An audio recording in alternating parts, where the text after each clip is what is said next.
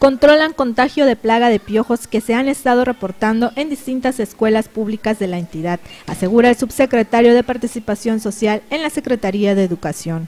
Estamos trabajando directamente con la Secretaría de Salud.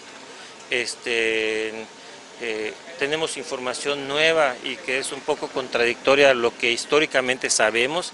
Este, esta información es en referente a que normalmente eh, sabíamos desde niños, ¿no?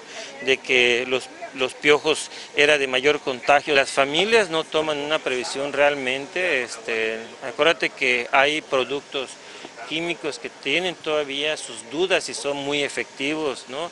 Hay procesos tradicionales en cuanto a del, cuidado de, la pediculosis o los piojos y que bueno, estos más que nada se dan en la casera, de manera casera.